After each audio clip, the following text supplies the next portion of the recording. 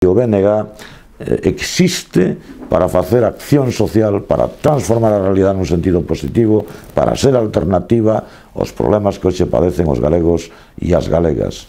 Non para ser un club de debate, un club de opinión ou estar na indefinición permanente. Por lo tanto, me gustaría, e eu o defendo e o defenderei na medida que poida despois, sexa portavoz ou non o sexa, pois que un BNG que actúe unido, que de verdade a unidade volva a ser eh, pues un elemento fulcral e que actúe socialmente.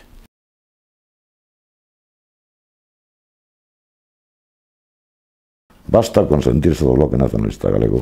Eu, eh, eh, o único que lle podo decir é que eu ao largo da miña militancia no BNG puiden estar de acordo e en desacordo con moitísimas cousas. E vou a decir Eu nunca aparecín nas páxinas de un periódico ou nun medio ou calquer outro medio de comunicación criticando a política que me gustase ou non me gustase, decidía colectivamente en ese momento o Bloque Nacionalista Galego. A veces demasiado, mm, demasiada presencia no, das diferencias internas do BNG eh, nos medios de comunicación non se deriva exclusivamente de que, decida, que decidan así os medios, que tamén podría ser, no? se deriva tamén das actitudes de algúns compañeros, de algunhas posicións internas do BNG que así o explicitaron. No? Eh, polo tanto, eh, bueno, eu que sí podo constatar e digo e afirmo que, dende logo, a mí non me parece eh, bo para unha organización como o Bloque Nacionalista Galego vamos a decirlo así, ocupemos bastantes máis páxinas ou espacios mediáticos moito máis importantes a respecto das nosas, vamos a decir, diferencias ou cuitas internas e non en consonancia, de logo, moito menos eh, ocupemos espacio, o espacio que merecerían as nosas propostas. E iso debe ser tamén un elemento de reflexión para todos e todas. Se algo non, desde logo, perdona moito ou comparte eh, a sociedade en xeral, é unha forza política que aparenta desunión, diferencias, rifirrafes constantes. Non? eu de logo sempre respetei eh, o que cada, fin, cada un do Bloque Nacionalista Galego, en este caso eh, un grupo de alcaldes decidisen, independentemente de non compartir ni a oportunidade, ni desde logo, bueno, pues plantexamentos que ali se poñen de manifesto, no? Ben, fíxeno, polo tanto, con todo respeto, como portavoz nacional, e punto, non, non hai moito máis que considerar. No? Por demais, eu non teño que dicir aos demais como teñen que facelo. Non? presentamos eh, claramente un proxecto, un proxecto, no? eh, desde o punto de vista eh, político, mm, para unhas teses políticas que teñen ademais como finalidade principal a actuación social neste período no que estamos.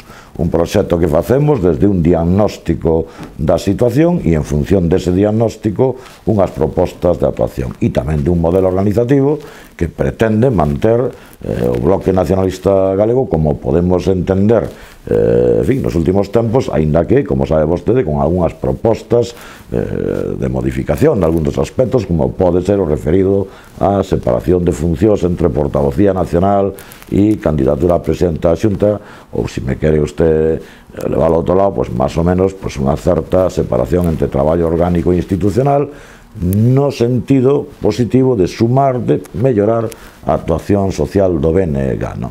É un proxecto alternativo non sistémico diferente a naturalmente que representan os partidos eh, de ámbito estatal con perfil propio e, dende logo, dispostos, eh, como digo, a obter a suficiente confianza social para logo, efectivamente, poder ter eh, ou acceder a gobernos ou ter, eh, en fin, confianza electoral. Ese é o noso proxecto. Nos, naturalmente, creemos que é o mellor proxecto para o Bloque Nacionalista Galego, senón non nos estaríamos eh, defendendo, non? Eh, me podo caracterizar e creo que o podo decir é pola miña coherencia persoal e política non?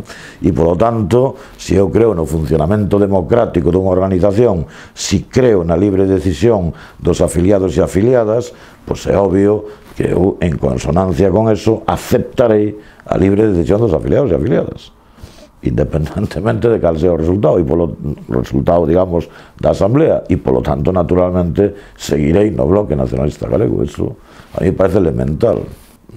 Penso, no? E por eso defendo que para min un escenario, e por eso estou defendendo, sería que a maioría eh, de afiliados e afiliadas, dende logo, optasen pola proposta que nós presentamos, obviamente, eso así.